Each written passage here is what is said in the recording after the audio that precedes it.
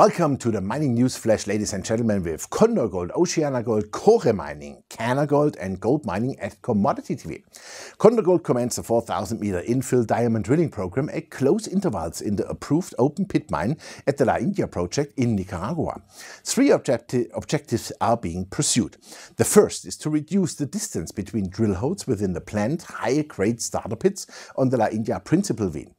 The results of this drilling will provide the sample density required to finalize pit designs and mine plans prior to production.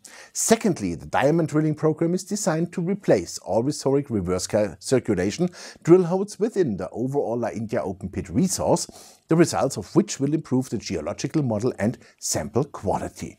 Thirdly, it is targeting nearby inferred resources to potentially upgrade the target to an indicated resource and possibly include it in the mine plan. Drilling has focused on shallow to approximately 35 meter deep high-grade starter pits within the La India main pit and recent drilling is expected to prepare these starter pits for production. The starter pits are specially designed pits containing 445,000 tons at 4.17 grams gold per ton for 59,700 ounces of gold using a 2 gram gold cut-off grade.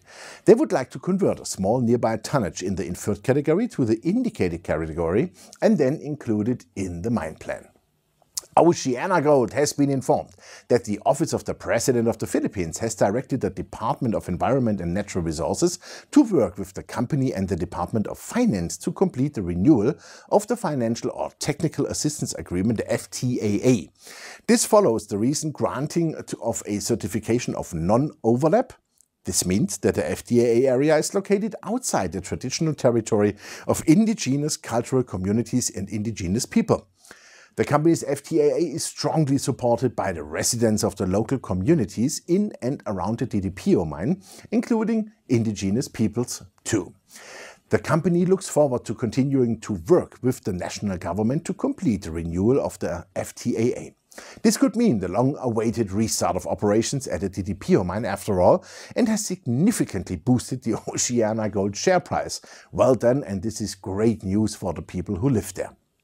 Kore Mining has shown positive results from the sampling and mapping program in the Mesquite Imperial Picacho district on the Imperial Gold Project, located 9 miles southeast of the Equinox Gold Mesquite gold mine.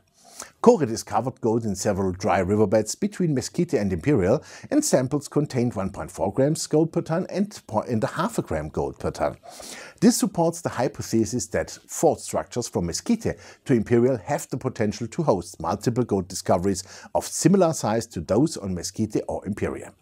More outcrops have been sampled than expected and permission has been granted to conduct a 140 plus pad drill program for a district level exploration program. The next steps will be to complete the full program sampling at the Imperial Picacho area by January 2021 and to conduct detailed soil sampling and geophysical surveys to prioritize drill targets in the first half next year, so there will be plenty of news to report over the coming months. Canarc Resource has now been renamed in Canagold Resources and the share capital is being amalgamated at a 5 to 1 ratio making the share heavier visually. There are now around 70 million shares outstanding and the symbol is not changing.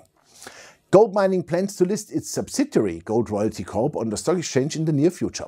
It has confidentially filed a draft registration statement on Form F1 with the Securities and Exchange Commission SEC for the proposed initial public offering of gold royalty securities in the United States.